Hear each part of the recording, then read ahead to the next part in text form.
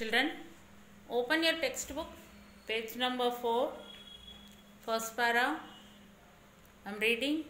Follow me, read along with me, and your finger should be under the line. Start. As for his wife, he thought he would insist, he would insist that she took care of him.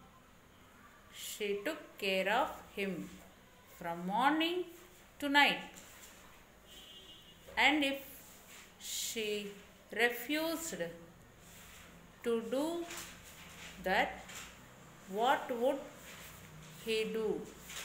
He dreamt that he would give her a great big kick.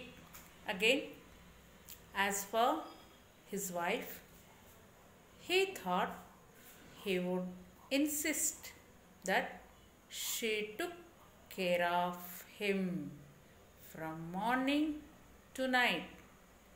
And if she refused to do that, what would he do? He dreamt that he would give her a great big kick.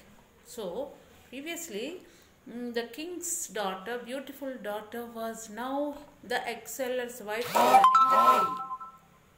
So, he was his wife. He was uh, uh, expecting, he was insisting, demanding forcefully his wife to take care of him. To take care of him. Whatever he need, he, she should be there and she should take care of him from morning to night. The complete day, the full day she should be after the husband, after, after the exceller. So, if suppose if she said, No, I will not do, or I cannot do. So, if she say, he was ready, children, what he would do? See, what would he do? He was ready to give a great big kick. You know, kick? We give kick with elbow and we kick with the foot when we are playing football. That is kick, children. He was ready to give a great big kick. When do when do the dreamer want to give? If she refuse, if she say no to take care of him, he want to give a great big kick, children.